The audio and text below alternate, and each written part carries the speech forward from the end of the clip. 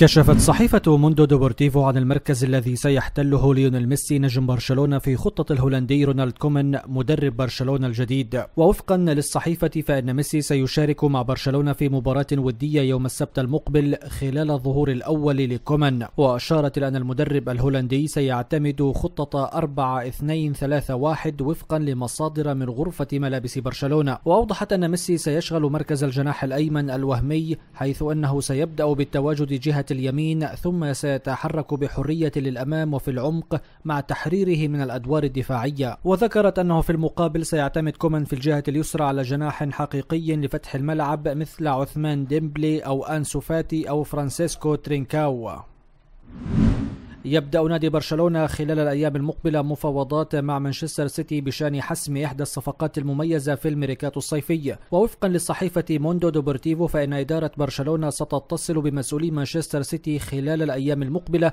بشأن صفقة المدافع الشاب إريك غارسيا. وينتهي عقد غارسيا مع السيتي في صيف العام المقبل وأعلن النادي الإنجليزي أن اللاعب رفض التجديد. وأشارت الصحيفة لأن بعض الأنباء زعمت وجود محادثات سابقة بين برشلونة ومانشستر سيتي حول غارسيا وتقدم البارسا بعرض قيمته 10 ملايين يورو. وأوضحت أن هذا غير صحيح لأن برشلونة لم يقم إلا بالتحدث مع ممثلي غارسيا للتعرف على رغبته فقط. وذكرت أن مانشستر سيتي يقدر صفقة غارسيا ب 25 مليون يورو.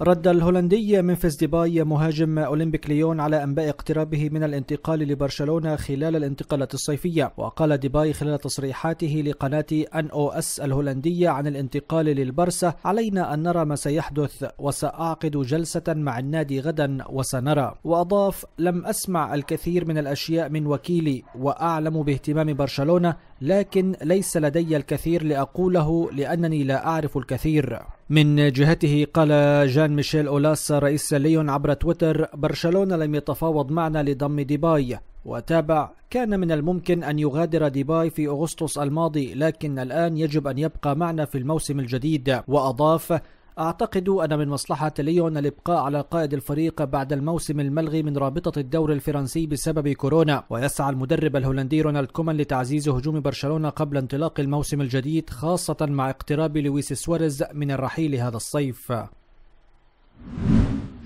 أكد برنامج الشيرنجيتو أن حالة إيدن هازارد نجم ريال مدريد تثير الشكوك في النادي الملكي. وانتقل هازارد من تشيلسي للريال الصيف الماضي في صفقة تخطت 100 مليون يورو إلا أنه ظهر بشكل محبط على مدار الموسم. ووفقا للبرنامج فإن هازارد لا يتعامل مع واقع تواجده في ريال مدريد على محمل الجد. وأشار البرنامج إلى أنه على زين الدين زيدان مدرب الريال إبلاغ هازارد أن هذه فرصة حياته في ريال مدريد. وكانت الجماهير المدريدية ترى أن هازارد من سيعوض رحيل كريستيانو رونالدو إلى اليوفي لأن اللاعب البلجيكي فشل في مساعدة الفريق على عبور عقبة مانشستر سيتي في ثمن نهائي دوري أبطال أوروبا في الموسم المنصرم.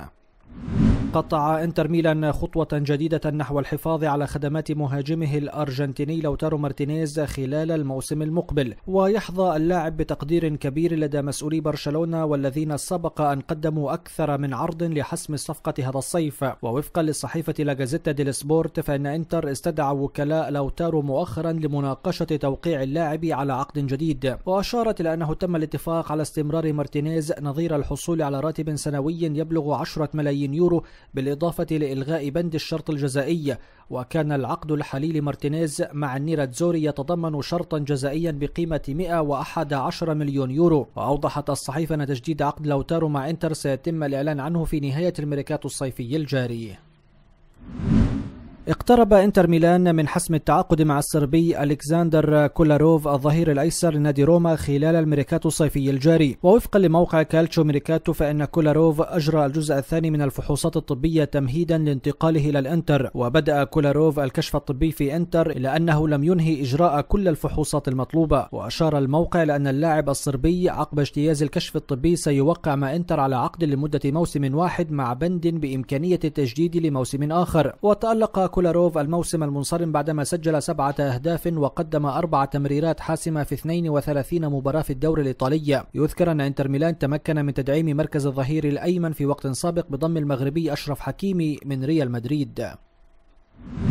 قالت مصادر مطلعة إن ثلاث مجموعات قدمت عروضها النهائية لرابطة الدوري الإيطالي وتنتظر القرار بشأن صفقة من شأنها تغيير وجه صناعة كرة القدم. وأضافت المصادر أن أندية الدوري الإيطالي ستجتمع يوم الأربعاء للاطلاع على عروض شراء حصة في شركة قابضة تأسست حديثا ستتحكم في حقوق البث للبطولة في المواسم العشر المقبلة. وأكد أحد المصادر أن هذا قرار تاريخي للكرة الإيطالية. سيحتاج الأمر إلى وقت ومناقشات لاختيار مشتري نهائي لكننا نسير في الطريق الصحيح. وقالت المصادر أن سي في سي كابيتال بارتنرز قدمت عرضا مشتركا مع أدفنت وشركة الاستثمارات فوندو استراتيجيكو إيطاليانو المدعومة من الحكومة والتي قدرت 10% من أسهم الأعمال الإعلامية للبطولة بنحو واحد فاصل 6 مليار يورو. وأوضحت أن سي في سي تواجه منافسة من اتحاد مستثمرين بقيادة باين كابيتال وأن العرضين مختلفين في الشكل وليس القيمة المالية.